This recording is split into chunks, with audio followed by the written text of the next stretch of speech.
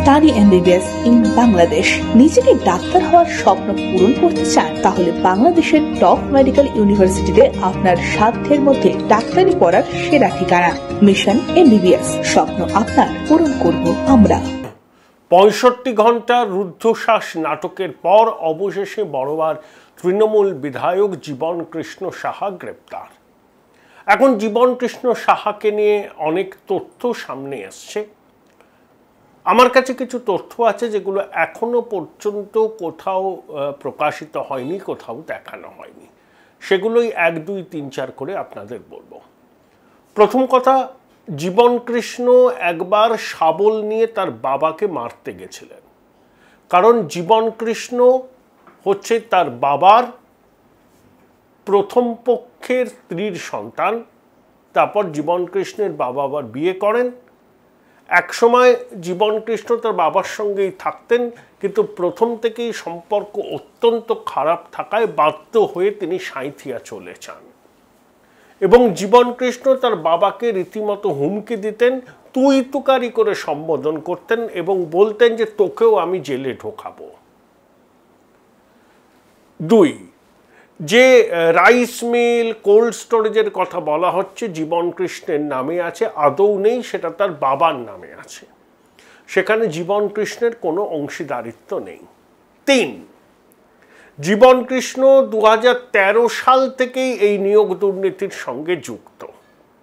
চার, জীবন কৃষ্ণের নিজের পেশি সাঁইথিয়া পুরসভার ন নম্বর ওয়ার্ডের কাউন্সিলর পাঁচ বীরভূম মুর্শিদাবাদের জাংশনে একটা লজ আছে।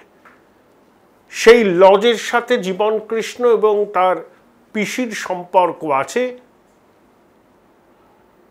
সূত্র বলছে সেই লজ থেকেই নিয়োগ দুর্নীতির অনেক কাজকর্ম নিয়ন্ত্রিত হতো এবং সেই লজেও প্রচুর অবৈধ কাজকর্ম চলে। নানা রকম সন্দেহভাজন মহিলাদের, পুরুষদের সেখানে ঘোরাফেরা করতে দেখা যায়।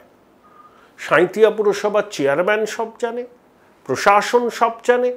যেহেতু সাঁইতিয়া পুরসভার ন নম্বর ওয়ার্ডের প্রভাবশালী কাউন্সিলর জীবনকৃষ্ণের পিসি এবং জীবনকৃষ্ণ কেষ্টর ঘনিষ্ঠ, সুতরাং কেউ আর এটা নিয়ে রা কারে না। এই হচ্ছে জীবন কৃষ্ণের ইতিবৃত্তান্ত। একটা অভিযোগ উঠছে, সে নাকি প্রতিবন্ধী সার্টিফিকেটও নকল করে। নিজের স্ত্রী এবং শালাকে বাড়ি থেকে এক মিনিট, পাঁচ মিনিট দূরত্বে চাকরি দিয়েছে। মেয়ে পড়ে কার্শিয়াংয়ের কোনো কনভেন্ট স্কুলে প্রশ্ন হলো, এই যার ক্রেডেন্সিয়াল সততার মুক্ত প্রতীক তৃণমূল কংগ্রেস তাকে প্রার্থী করল কি করে? দু হাজার একুশে? দু হাজার উনিশের লোকসভা নির্বাচনের পর পিকেট টিম এসেছিল, আইপ্যাক এসেছিল। আইপ্যাকের প্রতিনিধিরা জেলায় জেলায় ছড়িয়ে পড়েছিল। সম্ভাব্য প্রার্থী তালিকা এক, দুই, তিন করে কে হতে পারে, কোন কেন্দ্রে সেটা তারা চয়ন করেছিল, তারপরে শীর্ষ নেতৃত্ব অনুমোদন দেয়। এই যার ক্রেডেন্সিয়াল সেই রকম একটা লোককে তৃণমূল কংগ্রেস প্রার্থী করল কীভাবে? তাহলে কেস্টোর ইনফ্লুয়েন্স নাকি আইপ্যাকের রেকমেন্ডেশন কোনটা? চার হাজার জনের কাছাকাছি লোককে চাকরি দিয়েছে। ব্যাগ ভর্তি দস্তাবেজ সিবিআই উদ্ধার করেছে, laptop, desktop pen drive hard disk কিছু প্রমাণ নষ্ট করেছে, একটা মোবাইল উদ্ধার হয়েছে, সেটা থেকে তথ্য পাওয়া যাবে কিনা হায়দ্রাবাদে ফরেন্সিক ল্যাবরেটরি বলবে। আমি সিবিআইয়ের আধিকারিকদের একটা প্রশ্ন করতে চাই। আপনারা তো যখন জেরা করছেন, তখন তো তার মোবাইল দুটোকে আপনারা নিজেদের হেফাজতে নিয়েছিলেন। মানে সিজ করছিলেন। তারপর বাথরুমে যাওয়ার নাম করে সেই মোবাইলটা কীভাবে জীবন কৃষ্ণ নিজের হাতে পেল?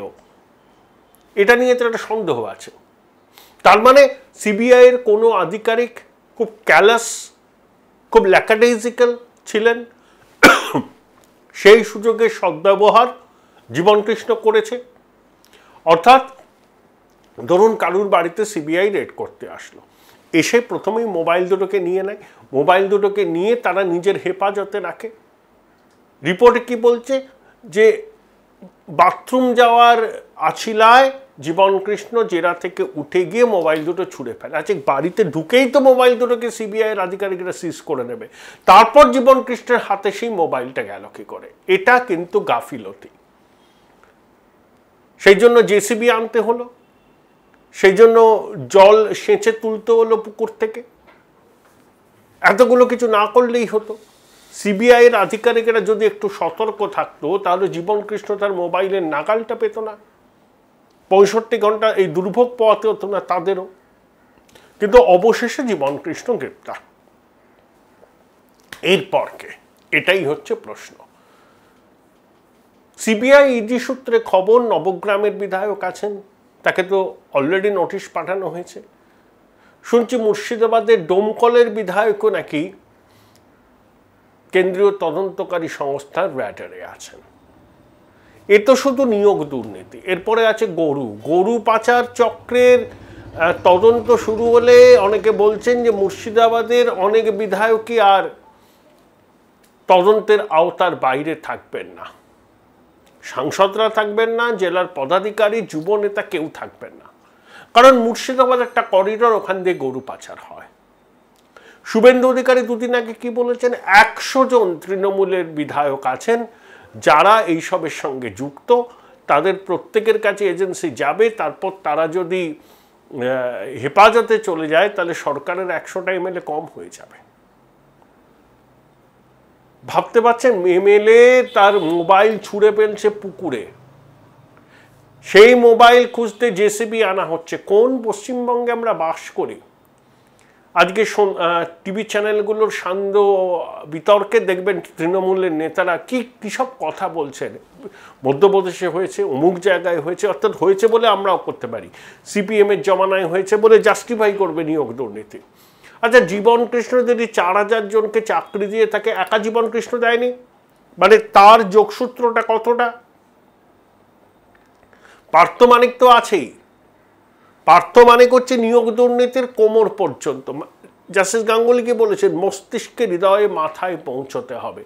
তাহলে মাথাদের সঙ্গে নিবিড় যোগাযোগ না থাকা, না থাকলে এই ধরনের সংগঠিত অপরাধ করা যায় না। এবং দীর্ঘদিন ধরে জীবন কৃষ্ণ করেছে। ডেসপারেট হয়ে গেছিল, ধরাকে সরা জ্ঞান করতো। বাড়ির লোকদের হুমকি পর্যন্ত দিত, বিশেষ করে বাবার সঙ্গে দুর্ব্যবহার করতো এবং তার বাবা কিন্তু চাইছেন এই ছেলের দৃষ্টান্তমূলক শাস্তি হোক। তার বাবাকেও জীবন কৃষ্ণ জড়িয়ে দেওয়ার চেষ্টা করছেন। বলছেন যে যৌথ সম্পত্তি আছে রাইস মিল কোল্ড স্টোরেজ কিন্তু সূত্র মারফত যতটুকু জানা গেছে বাকিটা তদন্তকারী সংস্থা ভেরিফাই করবে যে ওই রাইস মিল কোল্ড স্টোরেজের সঙ্গে জীবন কৃষ্ণের কোনো সম্পর্ক নেই কোনো অংশীদারিও নেই। স্টাডি এমবিবিএস ইন বাংলাদেশ নিজেকে ডাক্তার হওয়ার স্বপ্ন পূরণ করতে চান তাহলে বাংলাদেশের টপ মেডিকেল ইউনিভার্সিটিতে আপনার সাধ্যের মধ্যে ডাক্তারি পড়ার সেরা ঠিকানা। মিশন এমবিবিএস স্বপ্ন আপনার পূরণ করব আমরা। Join Indian Institute of Hotel Management now. Right choice, right decision. নেই। তার পিসির সঙ্গে জীবন কৃষ্ণের সম্পর্ক, সেখানে কিছু যৌথ অংশীদারির সম্পত্তি আছে, কিন্তু তার বাবার সঙ্গে তার সম্পর্ক অত্যন্ত তিক্ত। বাবাকে কার্যত জীবন কৃষ্ণ হুঁশিয়ারি দিত যে দেখে নেব, জেলের ঘাড়ি টানাবো, ইত্যাদি ইত্যাদি।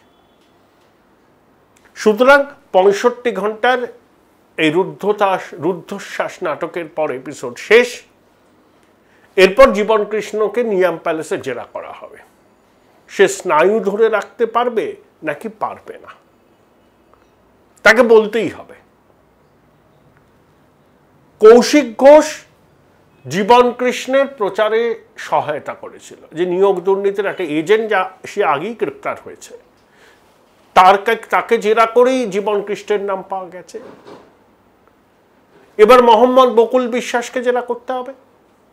সে আর একটা মাথা কলকাতা বিশ্ববিদ্যালয় ইসলামিক হিস্ট্রিতে পাশ করেছে, সম্ভবত পূর্ব মেদিনীপুরে চাকরি করে। কলকাতা বিশ্ববিদ্যালয়ের একটি বিশেষ হোস্টেলে থাকতো, সেখানে কারা কারা যাতায়াত করত। তাদের অনেকেই চাকরি পেয়েছে। মধ্য কলকাতার এক তৃণমূলের নেতা, যিনি তৃণমূলের ক্যামাক স্ট্রিট ঘনিষ্ঠ এক বিধায়কের খুবই ঘনিষ্ঠ, তার সঙ্গে ঘোরাফেরা করেন। তাকে ডাকা হোক দয়ালকে ডাকা হোক, ছাড়া চলবে না। এটা কয়েক হাজার কোটি টাকার দুর্নীতি।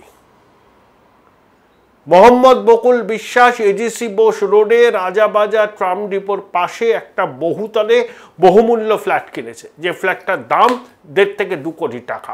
একটা সময় তিনশো টাকা মানে থাকা, খাওয়ার খরচ জোগাড় করতে পারতো না। তিনশো টাকা। বন্ধু বান্ধবদের কাছে ধার চাইতো, হাত পাতত।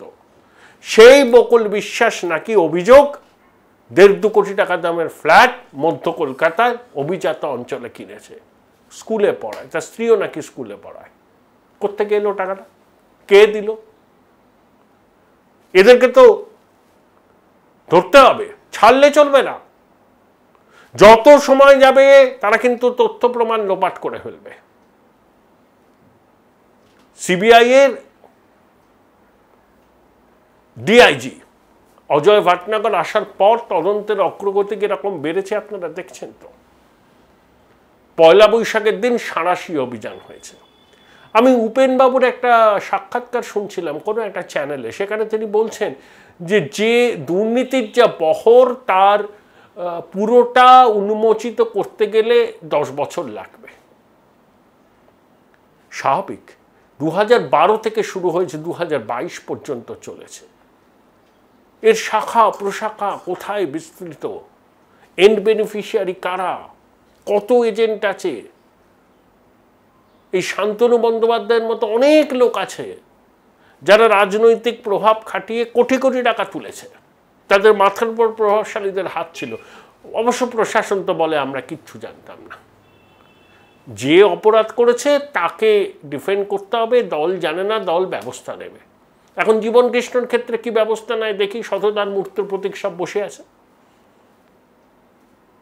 আমি একটা, আমি কিছুতেই একটা জিনিস বুঝতে পারি না যে ইন্ডিভিজুয়ালি এরকম সংগঠিত অপরাধ করা যায়। এত সাহস জীবন কৃষ্ণ পায় কি করে বা এত অ্যাক্সেস পায় কি করে যে চার হাজার লোককে চাকরি দেবে? যদি না, এই চেন ঠিকভাবে কাজ না করে।